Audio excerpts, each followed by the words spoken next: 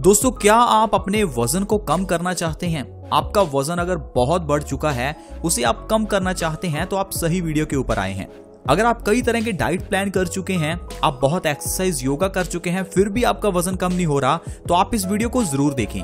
क्योंकि आज आपके वज़न को कम करने की एक ऐसी चीज़ आपको बताऊँगा, जो आपके घर में है, लेकिन आपको उसे लेने का सही ढंग नहीं मालूम। इसके अलावा, अगर आपको डायबिटीज़ की प्रॉब्लम है तो आप इस वीडियो को ज़रूर देखें। डायबिटीज़ यानी कि मधुमेह। आप या आपके परिवार में किसी को भी डायबिटीज़ है तो आप इस वीडियो को ज़रूर देखें। तीसरा है गठिया।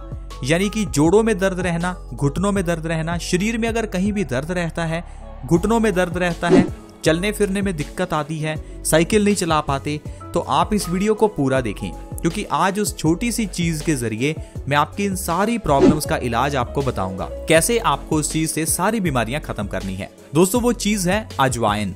अजवाइन हर घर में है। आयुर्वेद में अजवाइन को एक औषधि कहा गया है। आयुर्वेद की किताब अष्टांग हृदयम जिसे हज़ारों साल पहले महारिषि वाघ भट्ट जी ने लिखा था, वो कहते हैं कि अजवायन, वात और पित्तनाशक है। वात और पित्तनाशक क्या है, ये भी मैं आपको समझाऊँगा। वात का मतलब होता है गैस। अगर आपके पेट में, शरीर में गैस बनती है तो ये उसे खत्म करती है।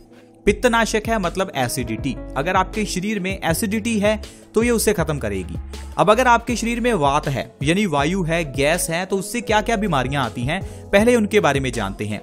फिर आप समझ जाएँगे कि अजवाइन से क्या क्या ठीक होने वाला है। जो वात में आपको बीमारियाँ होती हैं, उनमें सबसे पहली बीमारी है पेट में गैस होना। पेट में गैस होने से आपके वो गैस शरीर के अलग अलग अंगों तक चली जाती है। आपको ये दिखता नहीं है, लेकिन ये गैस, ये हवा आपके पूरे शरीर में घूमती है। जब ये शरीर में घूमती है तो शरीर में दर्द पैदा करती है। अगर ये घुटनों में चली जाए तो घुटनों में दर्द। अगर ये कमर में चली जाए तो कमर में दर्द। पेट में ही रहे तो पेट में दर्द।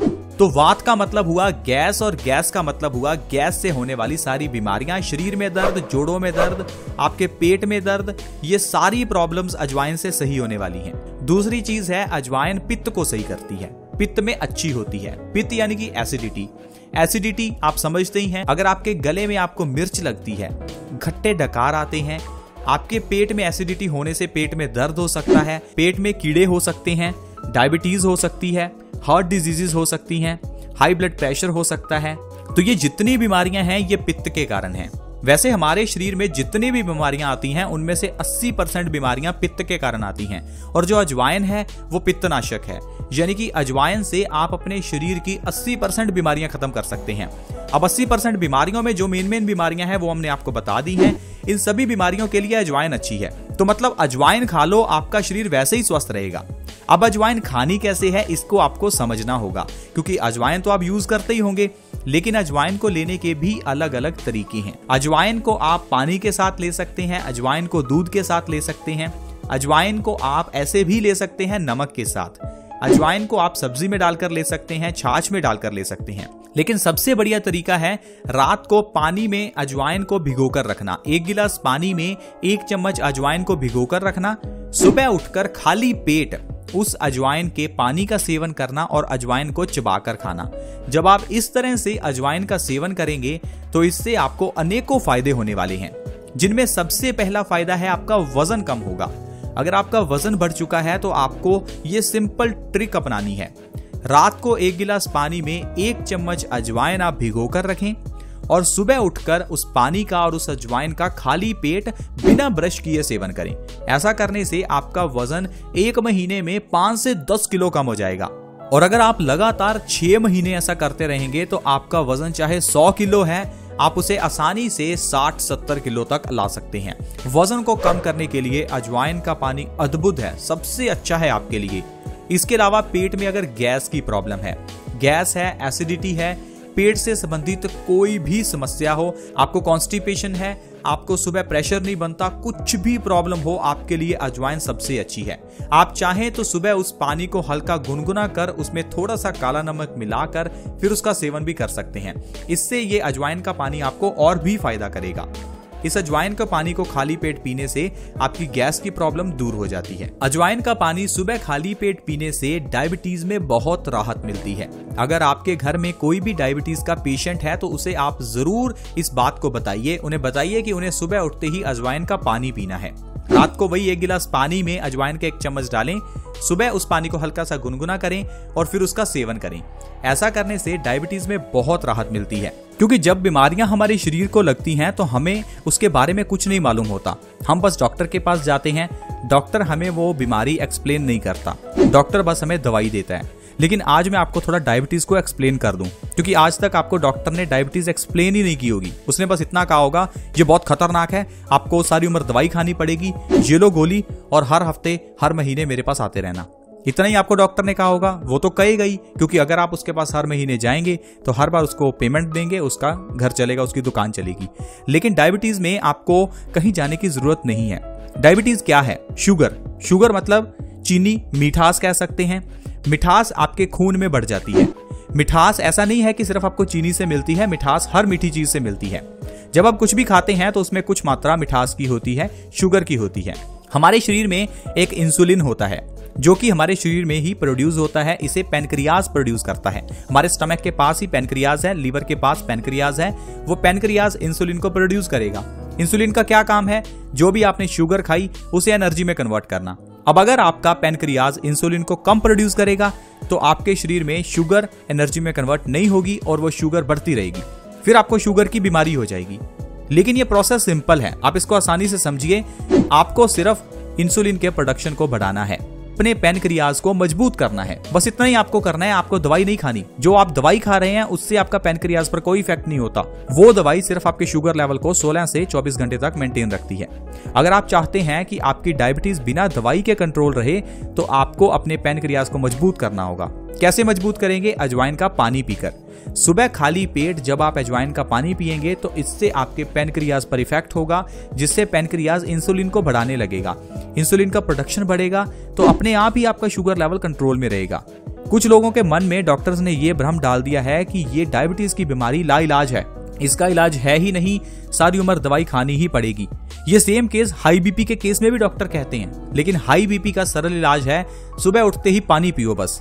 सुबह उठो, पेट भर के पानी पियो। सिर्फ़ इतना करने से आप हाई बीपी खत्म कर सकते हैं। दूसरी चीज़, भगवान शिव को बेलपत्र प्रिय है। उस बेलपत्र के ज़रिए हाई बीपी खत्म हो सकता है। सुबह उठते ही दो से तीन बेलपत्र खा लो। हाई बीपी एक महीने में खत्म। चाहे वो 20 साल पुराना क्यों ना हो, हर तरह का हाई बीपी नॉर्मल हो सकता है, लेकिन डॉक्टर कभी नहीं बताएगा। डॉक्टर यही कहेगा कि ये दवाई आपको लेनी पड़ेगी, नहीं लोगे, हार्ट अटैक आ जाएगा, ब्रेन स्ट्रोक हो जाएगा, लकवा हो जाएगा, कुछ ना कुछ वो कहता ही रहेगा। प्लीज़, आप आयुर्वेद से जुड़े, हमारे चैनल से जुड़े, अच्छी इन्फॉर्मेशन पाएँ और देखें आपका शरीर कैसे बिना दवाइयों के, बिना डॉक्टर, बिना हॉस्पिटल ऐसे ही घर में ही स्वस्थ रहेगा। देखिए, अजवाइन आपके घर में है, लेकिन उसको लेने का सही ढंग नहीं मालूम, इसलिए हम उसका सही सेवन नहीं कर पाते और शरीर को फ़ायदे नहीं मिलते। हमारे बताए हुए तरीके से आप अजवाइन का सेवन करें, आपको डायबिटीज़ में बहुत फ़ायदा होगा। अगर आप इस अजवाइन का सेवन सुबह खाली पेट करते रहेंगे तो इससे आपको गठिया की प्रॉब्लम से आराम मिलेगा।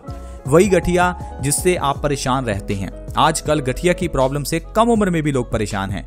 पहले तो यह प्रॉब्लम 50-60 की एज के बाद आती थी, लेकिन आजकल यह प्रॉब्लम 30 की एज के बाद भी आनी शुरू हो गई है। गठिया क्या है? गठिया में आपको समझना होगा क्यों होता है। डॉक्टर नहीं बताएगा क्यों होता है, वो बस दवाई देगा। गठिया क्यों होता है? आपके जोड़ों में दर्द होता है, जोड़ों में यूरिक एसिड जमा हो जाता है। ये एसिड क्यों होता है? आपके पित्त की प्रॉब्लम है। पित्त मतलब एसिडिटी। अब पित्त के लिए अजवाइन अच्छी है। पित्त में क्या होता है? एसिडिटी बढ़ जाती है। एसिडिटी बढ़ने का मतलब है आपके खून में एसिडिटी बढ़ जाती है। खून में जब एसिडिटी बढ़ेगी तो इससे यूरिक एसिड बढ़ेगा। ये यूरिक एसिड आपके जोड़ों में जमा होना शुरू हो जाएगा। जब ये जोड़ों में जमा हो जाएगा तो जोड़ जब हमारे हिलेंगे तो दर्द करेंगे। धीरे धीरे ये दर्द बढ़ता जाएगा। हमारे जोड़ घिसने शुरू हो जाएँगे। तो इसलिए आपको सिर्फ़ इतना करना है अपने ब्लड से, अपने खून से एसिडिटी को कम करना है। अपने पित्त को नॉर्मल पर लेकर आना है। कैसे करेंगे? एसिड वाली चीज़ें खाना बंद कर दो। चाय पीना बंद कर दो, इससे भी आपको फ़ायदा मिलेगा। एसिड वाले मसाले, लाल मिर्च खाना बंद कर दो, इससे भी फ़ायदा मिलेगा।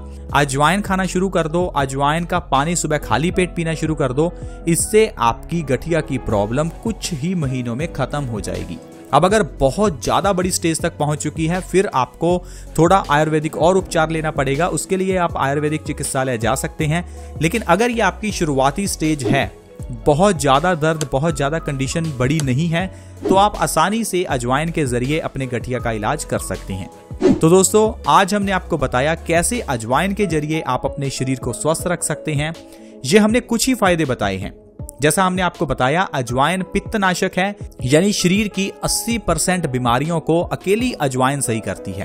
तो अजवाइन बहुत अच्छी है। इसीलिए ये हमारे घर की किचन में है। ये घर की किचन में किन्होंने डाली? ये आयुर्वेद के ऋषि मुनियों ने ही डाली है। तो इसलिए जो आपकी घर की किचन में जो चीज़ें हैं, वही चीज़ें आपके लिए सबसे अच्छी हैं, जो चीज़ें आजकल आप लेकर आ रहे हैं। जैसे मायोनीज। मेयोनीज आपके लिए जहर है। रिफाइंड।